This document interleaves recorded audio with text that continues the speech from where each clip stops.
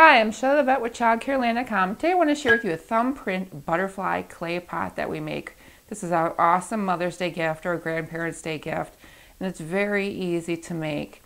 Uh, you'll need to start with a um, clean, dry clay pot. This is a six inch size, I find that that works well for this project. And what you need to do before um, you put the uh, any kind of paint on is if this is going to be something that's outside or that you put flowers in or dirt in, you want to make sure you seal it. And that's something that needs to be done probably the day before or the night before you do this project with children.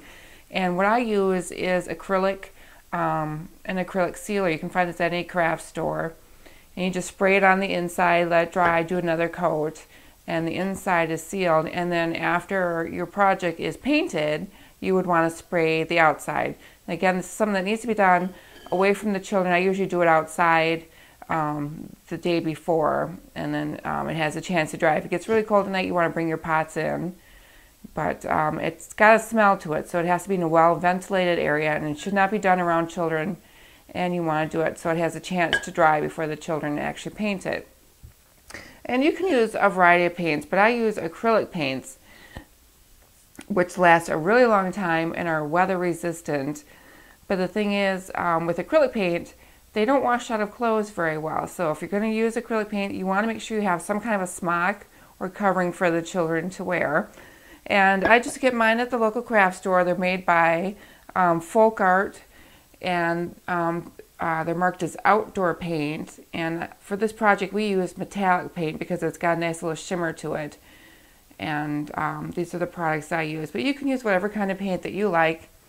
And basically, all you do is you have um, the colors of paint set in a plate, and the children would dip their thumb into the paint, and they would make four dots close together. So here's a here's a dot, here's a dot, and then dip your paint maybe, and here's a dot, here's a dot. And we did different colors all the way around the pot.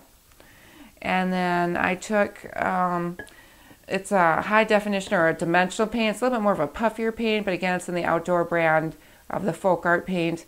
And we use that to make the yellow lines in the body along with the black um, antennae on each um, butterfly, but you don't have to. You can just use a permanent marker and draw a line in, um, in between the four dots and it'll still look just as cute. So it's a really fun project. It's easy to make and you can get it done in a day.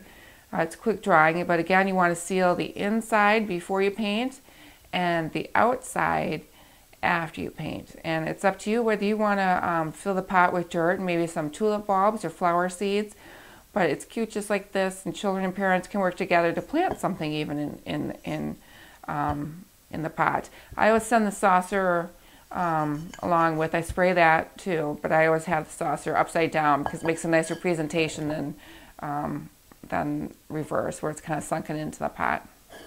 So, for a thumbprint butterfly clay pot gift, I'm Shelley Vet with ChildCareLand.com, and thanks for watching.